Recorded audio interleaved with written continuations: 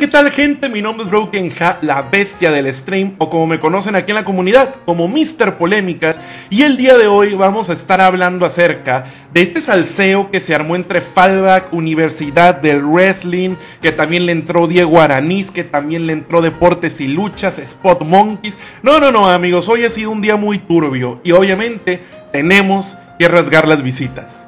Por cierto, antes de empezar, suscríbete amigo mío que ya casi llegamos a los 12 mil suscriptores. Y además, si no te suscribes, vas a pertenecer a este grupo de personas que ven mis videos pero no están suscritas y nunca se enteran de las cosas que pasan en la comunidad. Y, y qué triste tu vida si no estás al tanto de todo eso. Quetzal y Boldness de WWE, no la mitad del mejor shipio del año de Quetzalback, publicó lo siguiente en Twitter. En exclusiva y por primera vez en el brunch llega el mismísimo Drew McIntyre y como el momento lo vale, estaremos transmitiendo este jueves a las 12 del día con vista del castillo de Chapultepec en la Ciudad de México, calentando motores en camino a Clash at the Castle. Bueno, Snake Albert puso lo siguiente. ¿Eh? Solo pienso yo o sería épico que el tío Fallback presentara a Drew como solo él sabe antes de su entrevista.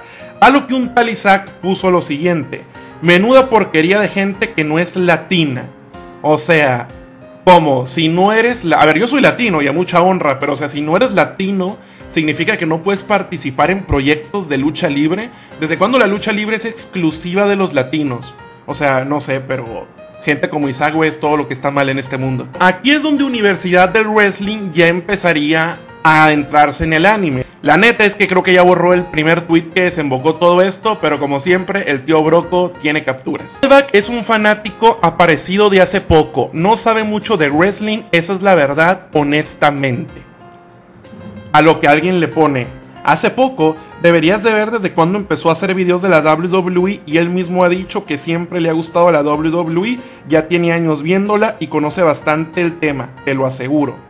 A lo que Universidad del Wrestling vuelve a responder, estimado Fallback, Estimado, Fallback lo ve de hace menos de 10 años, no sabe nada del tema. Cualquiera con un guion y cortes de cámara sabe lo que Fallback, por eso no hay lives casi hablando de wrestling ni videos sin edición. Él no sabe un carajo de lucha libre. Prácticamente Universidad del Wrestling está atacando a Fallback diciéndole que pues bueno, como él no tiene mucho, que empezó a ver lucha libre, que pues él no, no tiene conocimiento alguno. Yo no sabía que se necesitaba antigüedad para poder opinar de lucha libre. En mi caso, yo la empecé a ver desde 2009. Imagínate, si dice que Fallback no sabe nada. Ahora imagínate yo que la empecé a ver dos años después, amigo. Pero es que esto es, esto es un trauma, la neta, que al parecer tiene Universidad del Wrestling. Porque si vas a ver su último video, curiosamente inicia de esta manera.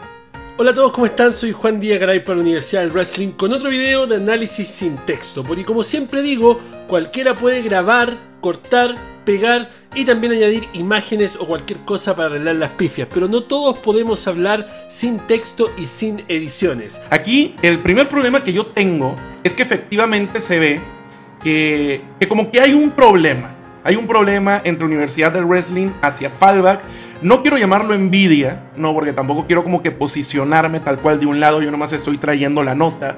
Pero que respectivamente y cada que pueda esté atacando que si los videos, que si el guion, que si aquí, que si allá.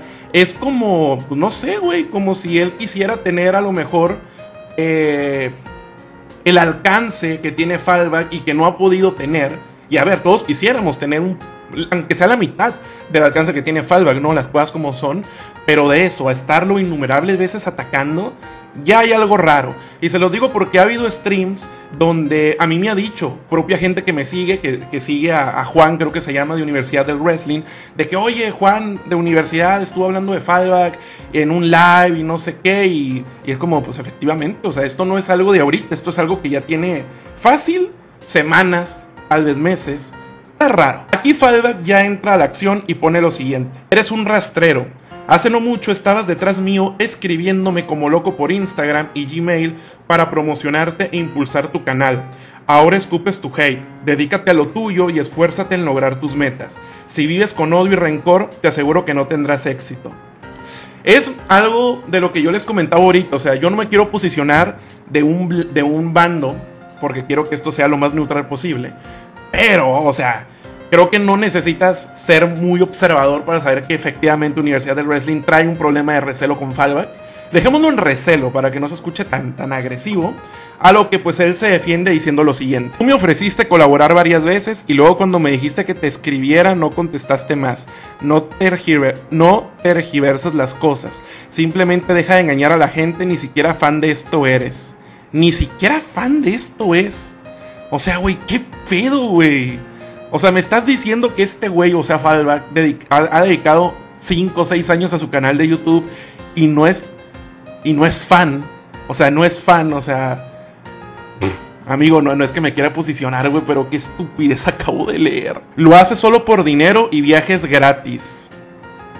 Que yo sepa, la primera vez que Fallback tuvo una, un viaje, por así llamarlo, con, con WWE 2K, fue en 2019 para el lanzamiento de 2K20. Y los primeros años, o sea, él, hizo esto por, pura pasión, ¿no? Nadie nace ningún canal de YouTube nace monetizado. O sea, hay que chingarle. Los que lo podemos monetizar le tuvimos que chingar mínimo un año. Entonces, güey, ¿qué, sandeces estoy leyendo, por el amor de Dios? Y añade este güey.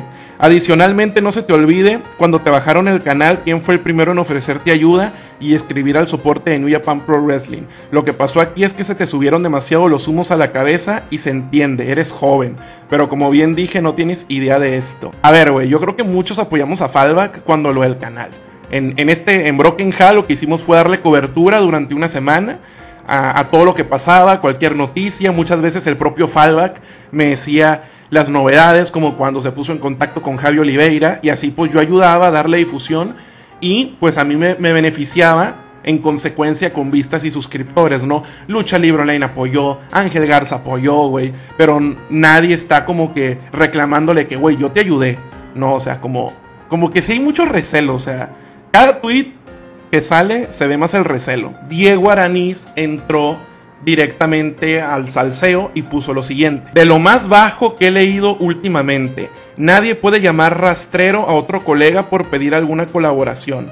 Cada quien puede cooperar con quien quiera, pero no es necesario denigrar a nadie. Fallback debería replantear su respuesta y dar el ejemplo del respeto a la comunidad. Creo que aquí Diego Araní se confundió. O sea, Fallback no le dijo rastrero a, a, Universidad del Wrestling por la colaboración. O sea, yo creo que le dice rastrero porque cada que puede este güey le anda tirando indirectas o directas. O sea, y a mí me consta, porque ha habido streams en donde mis, mis suscriptores me han dicho, güey, ¿conoces Universidad del Wrestling? Le tiró a Falva. O sea, obviamente llega un punto en el que por más que te quieres alejar de la polémica, como, como en el caso de Fallback, llega un momento en que te hartas, güey, todavía responder y que lo tachen a él de, de que él es el problema, güey. O sea, sí se me hace un comentario muy desafortunado de parte de, Diego Araniz. O sea, yo creo que toda la culpa actualmente recae en, Universidad del Wrestling.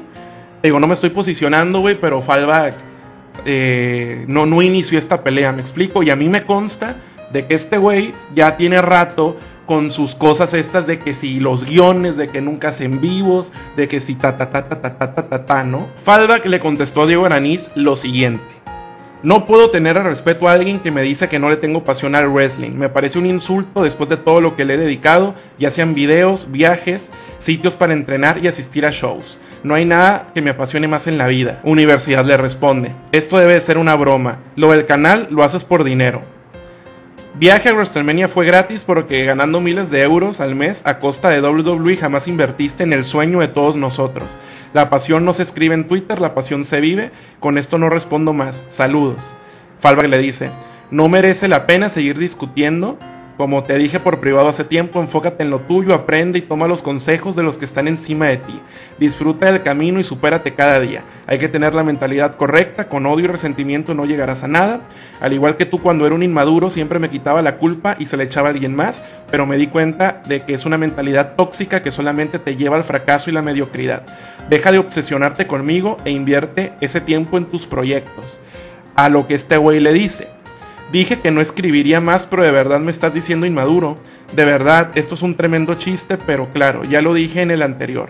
Los que están sobre ti. Ahora hablas de madurez, pero no hay problemas de ego. Esto es una burla. A ver, yo no puedo hablar por todo el mundo. O sea, seguramente ha, de haber personas que a lo mejor su experiencia con, con a lo mejor no fue muy positiva que digamos, pero puedo hablar del trato que yo he tenido con Fallback desde hace años, güey.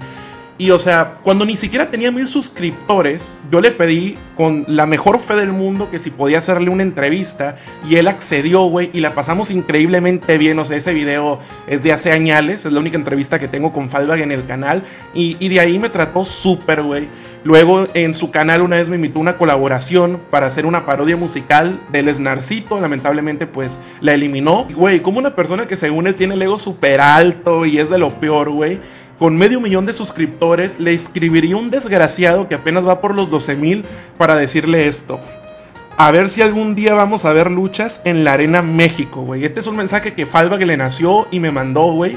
Y es como, güey, o sea, no, no, no, no, no tiene sentido. Bueno, quiero aprovechar esto para mandarle un shout muy grande a Spot Monkeys, que me pasó la noticia, a Benji WWE, que también me pasó la noticia, y también a la gente que está en mi grupo de WhatsApp por pasarme la noticia. Gracias, qué bueno que me reconozcan como el Mr. Polémicas Tribal de la comunidad. Y bueno chicos, esto fue todo por el video de hoy. Traté de mantenerme lo más neutral posible. Cualquier novedad los voy a mantener informados. Eh, lo único en lo que sí siento que me fui como que tal vez un poquito más por el lado de Fallback es porque Universidad del Wrestling dice que Fallback es un egocéntrico y que trata mal a los creadores pequeños. Yo soy un creador pequeño y a mí nunca me ha tratado mal. No, simplemente conté mi experiencia y la neta, la neta, la neta sí veo un, un poco de recelo.